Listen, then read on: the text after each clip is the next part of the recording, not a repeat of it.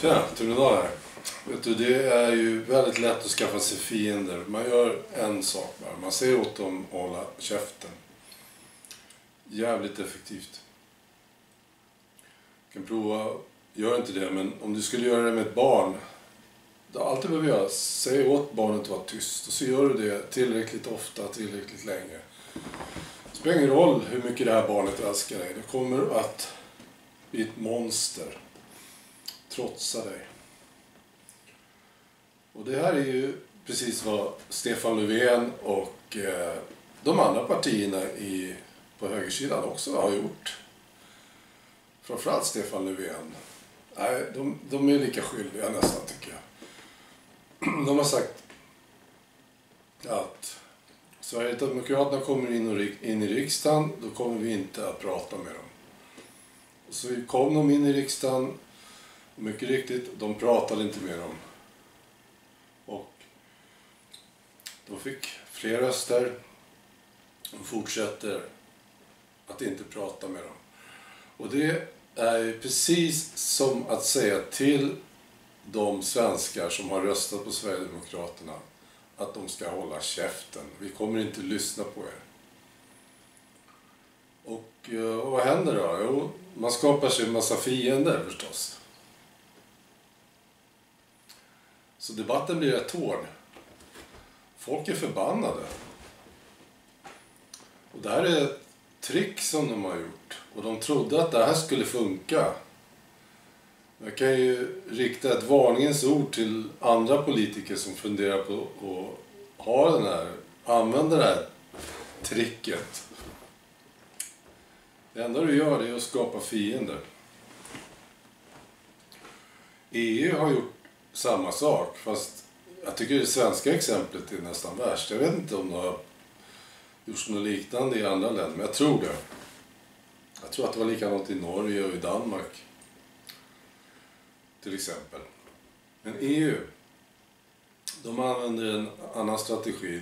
Det var ju väldigt tydligt under folkomröstningen i Storbritannien. Eh, de som ville lämna EU EU blev som en stor jävla megafon så här som bara skrek rasister, rasister. Och det här är ett försök att tysta folk. Folk vill inte bli kallade för det här. Det var folk som var eh, ledsna på invandringen, den okontrollerade invandringen. Och gillade inte vad det orsakade. De hade åsikter. Och när du tystas, när du inte får säga din mening, då blir man sur. Och så väntar man tills det är dags att rösta. Vi ser, det är samma mönster faktiskt. Vi ser det i presidentvalet. De som var positiva mot Trump, positiva för Trump, till Trump. De eh, kallades för allt möjligt. Det var etiketter som sattes på dem. Jag tyckte det var värst från Demokraternas håll. Jag tyckte det var jättetydligt. Så folk blir förbannade. Ska inte jag få säga vad jag tycker längre? Och så, så kom valdagen och så röstade de fram Trump. Frankrike har vi samma utveckling. Hollande har ju sjunkit som en jävla sten. Och försöket att tysta fransmännen har pågått under lång tid. Och i Frankrike, vi tycker att vi har det jävligt här i Sverige med ökad brottslighet och utanförskapsområden och sådär. Kolla på Frankrike. De var minst fem gånger värre där. Och eh, försök att tysta fransmännen har pågått under lång tid. Men nu funkar det inte längre. Det har gått för långt helt enkelt. Det är i alla fall vad jag kan eh, se. Så Marine Le Pen såg jag, i senaste mätningen hade hon 29 procent. Så hon kommer bli en av kandidaterna till att bli president. Hon kommer förmodligen få slåss mot någon från de konservativa. Sen är det så med de här eh, opinionsmätningarna, det, såg vi, det har vi sett, det blir nästan tjatigt. De är för låga när det gäller de här typ, den här typen av kandidater. Och jag tror att det har att göra med det här. Att folk som har de åsikterna eller eh, stöttar en politiker som sägs ha de här åsikterna. De är inte beredda att berätta det ofta till eh, opinionsmätningarna. Stefan Löfven har ju kört stenhårt. Svenskar som i, protesterar mot eh, problemen och vill, ser att vi måste ha en förändring. Det enda partiet som erbjuder en, en rik, riktig förändring, tycker jag, det är Sverigedemokraterna. Och Stefan Löfven har ju bara pumpat på de här. Han har vägrat prata med dem. Han har, han har sagt till andra att inte prata om dem. Han har skambelagt folk som vill prata med dem. Och dessutom så påstår han att det är ett nazistiskt parti. Och det är ju egentligen som att eh, idiotförklara en femtedel av svenska befolkningen som funderar på att rösta på dem. Skulle vi rösta på ett nazistiskt parti, det måste, då måste vi vara idioter allihopa. Så att eh, Stefan Löfven har skaffat sig fiender på det här sättet. Eh, sen har vi Tyskland, där har de gjort samma sak. Det var ju ett jävla liv i Tyskland efter den här nyårsnatten. När unga tjejer blev sexuellt trakasserade av invandrare i Köln och även i andra städer. Eh, det var ju Köln som fick den här mediala uppmärksamheten men det, det var en stor grej det här. Och det var folk som verkligen var skitförbannade tyskar. Inte konstigt.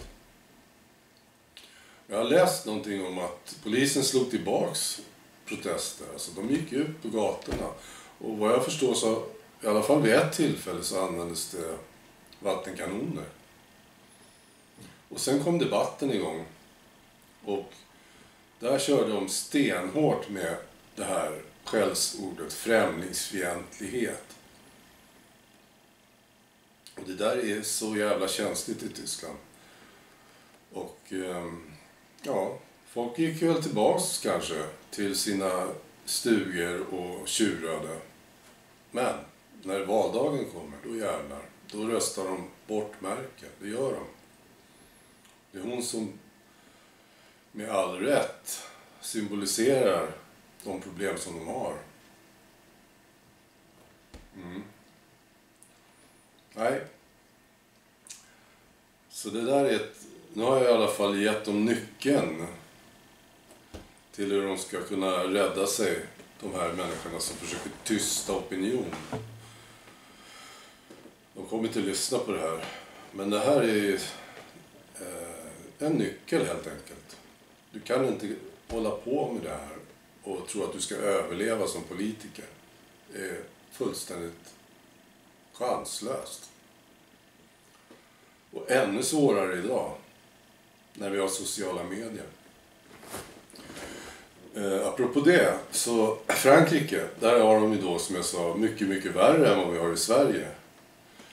Och där pågår upplopp eh, på Paris gator. Det är mer eller mindre krig ibland mellan poliser och invandrargrupper.